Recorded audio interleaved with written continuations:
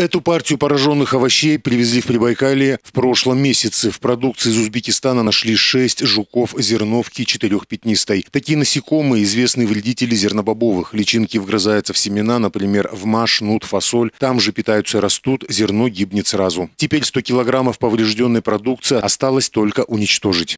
Когда к нам поступает такая продукция, вообще, если она из Казахстана, Кыргызстана, там, Таджикистана, то мы много раз у нас было случаев таких обнаружений именно от зерновки. Иногда сразу находятся живые насекомые, а бывает просто ставим на скрытую зараженность, и они в течение там, трех месяцев как бы появляются.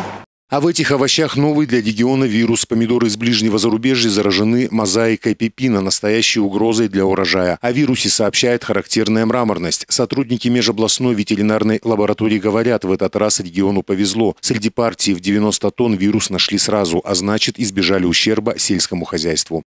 7 июля 2021 года данный объект, э, вирус мозаики пепина, является карантинным объектом на территории Российской Федерации. Товарный вид снижается, а также снижение урожайности до 30%. Поэтому вирус стремительно распространяется и очень опасен для нашего региона. По словам специалистов Россельхознадзора, июнь стал нашествием для овощных и фруктовых вирусов. За месяц выявили пять видов карантинных объектов. Все завезли с ближнего зарубежья. К такой продукции должно быть особое внимание.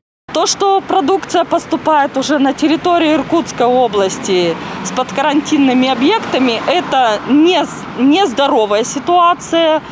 Такого не должно быть.